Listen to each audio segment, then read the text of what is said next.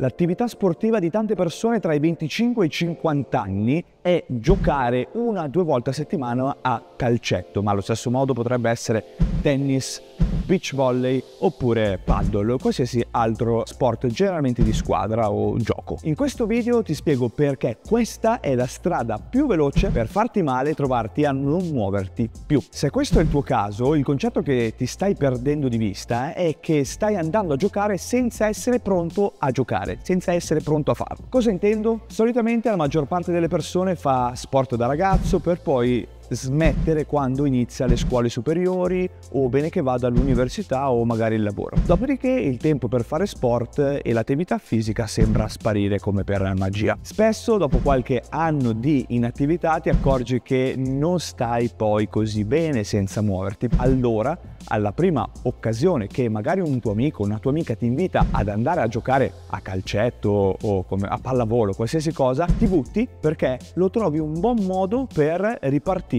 con l'attività fisica. Il problema è che sono passati un po' di anni dall'ultima volta nei quali non ti sei più allenato, non ti sei più allenata e quindi è molto probabile, toccati dove vuoi, che il tuo corpo non sia pronto per giocare senza andare incontro a problemi e a volte infortuni. Il problema non è la partita calcetto, paddle, qualsiasi cosa. Il problema è che non c'è una preparazione fisica alla base che ti prepara ad andare a giocare. Giocare a qualsiasi sport non deve essere confuso con una preparazione fisica, ma deve essere visto come il momento dove applichi le capacità, il tuo potenziale, quello che coltivi quando ti prepari. Se ci stai seguendo da un po' stai vedendo che ogni settimana usciamo con un contenuto spaziale, quindi se ancora non l'hai fatto iscriviti al canale e adesso continuiamo con questo video. Giocare a qualche sport è una figata incredibile, ti consiglio di continuare a farlo ed è anche super importante per la nostra salute sia fisica che sociale. Io ad esempio in questo mio momento di vita sto giocando molto a tennis e mi diverte davvero un casino, ma il tennis nel mio caso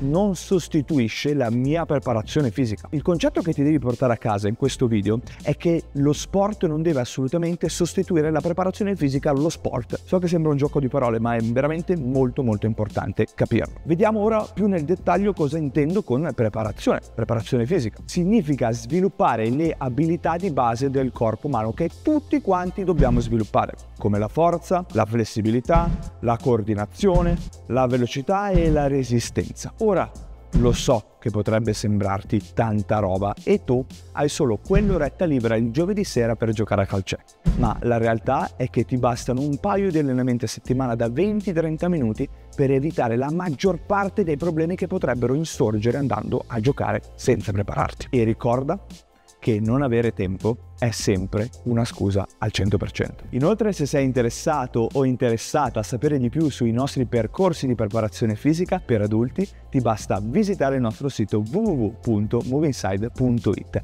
ed è molto importante ritagliarti il tempo per preparare il tuo corpo perché ho visto troppe volte persone adulte che si sono fatte male giocando e non hanno poi più ripreso, dimenticandosi completamente del proprio corpo, fino al giorno che lui, il corpo, gli ha presentato il conto tutto in una volta con malattie e problemi più gravi di uno strappo o una distorsione alla caviglia. Il messaggio con il quale voglio salutarti in questo video è che tutti possono muoversi e godersi il proprio corpo a qualsiasi età. Per oggi è tutto, noi ci vediamo settimana prossima in un nuovo video. Ti abbraccio!